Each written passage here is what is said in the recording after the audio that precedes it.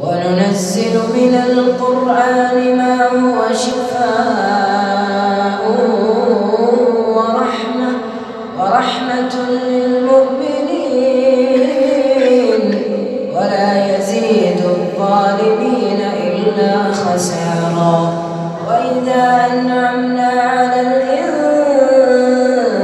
الإنسان أعرض نأى بجانبه وإذا مسه الشر كان يئوسا قل كل يعمل على شاكلته فربكم أعلم بمن هو أهدى سبيلا. ويسألونك عن الروح قل الروح من أمر ربي. وما